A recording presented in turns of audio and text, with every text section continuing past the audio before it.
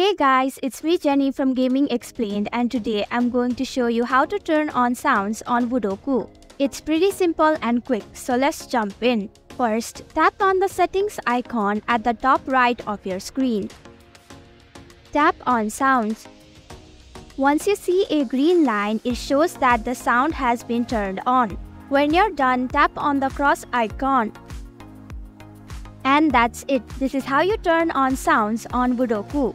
Thank you for watching Gaming Explained. Hope this video was helpful. If it was, then hit the like button and comment down if you have any questions or feedback. Also, if you're new to our channel, subscribe and hit the bell icon so you don't miss our upcoming videos.